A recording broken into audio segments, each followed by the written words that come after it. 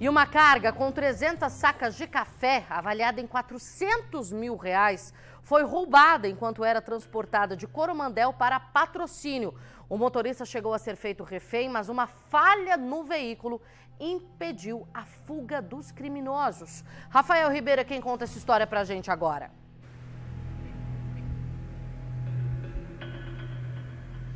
Exatamente, Luciana, mas antes disso, o motorista desse caminhão passou momentos de terror na mão desses criminosos. Ele seguia ali pela rodovia 188, sentido a Uberlândia, Monte Carmelo, quando então ele percebeu que no meio da rodovia um veículo fiorino parou atravessado, impossibilitando a passagem dele.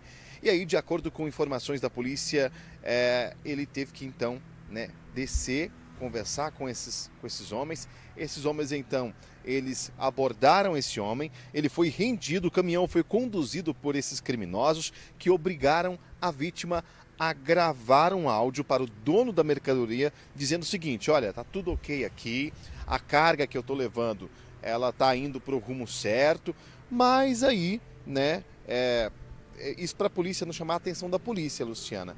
Mas aí os bandidos ainda continuaram com essa vítima dentro do carro. Eles estavam encapuzados, a vítima seguia então pela 188, é, de patrocínio em direção à região de Monte Carmelo e Uberlândia. E aí, em determinado momento, quando eles chegam ali é, próximo ao pedágio de Monte Carmelo, na, na BR-365, o caminhão apresenta um problema mecânico. Os criminosos começaram a pressionar essa vítima, dizendo o seguinte: ó, como que a gente vai resolver toda essa situação a partir de agora?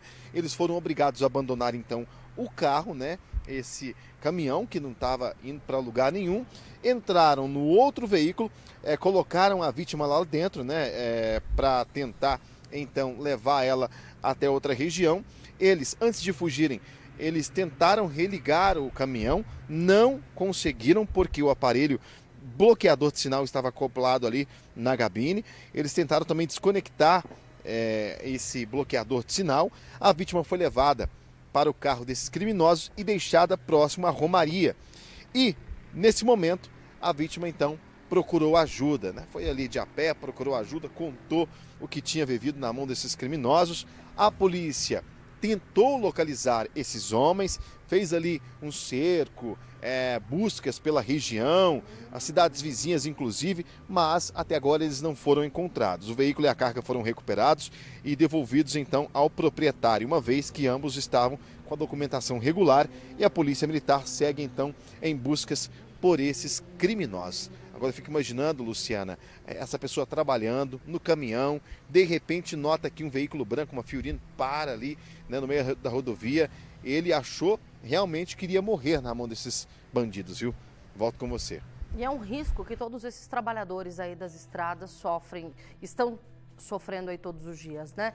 É um risco que eles correm aí diariamente no trabalho. Que Deus abençoe e que essa vítima consiga se recuperar desse susto, porque infelizmente a vida segue aí, mesmo com trauma, a gente precisa aprender a lidar, ressignificar essa situação para conseguir seguir em frente. O trabalho da polícia continua sendo feito e a gente está de olho.